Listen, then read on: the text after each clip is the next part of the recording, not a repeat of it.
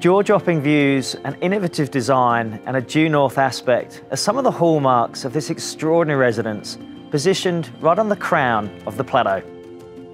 I'm James Baker from McGrath Pittwater, and along with my colleague Lauren Garner, we're thrilled to be able to take you through just a sample of what's on offer at 30 The Circle in Bilgola Plateau.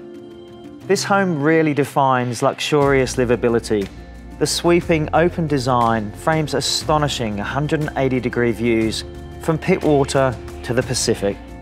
There's a sense of drama and scale in the main living areas with soaring curved ceilings, beautiful Jarrah floors and a full wall of glass framing those vistas.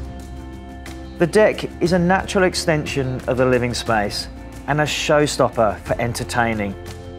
I also love the series of courtyards placed between rooms, adding a sense of privacy and light to every part of the home. Another natural hub for entertaining, the gourmet kitchen, features thick stone bench tops, a central island and integrated fridge. There are a total of three ensuite bedrooms. Each are king-sized and feature custom walk-in robes, while the top floor master enjoys a bird's eye view of the coastline plus a private terrace.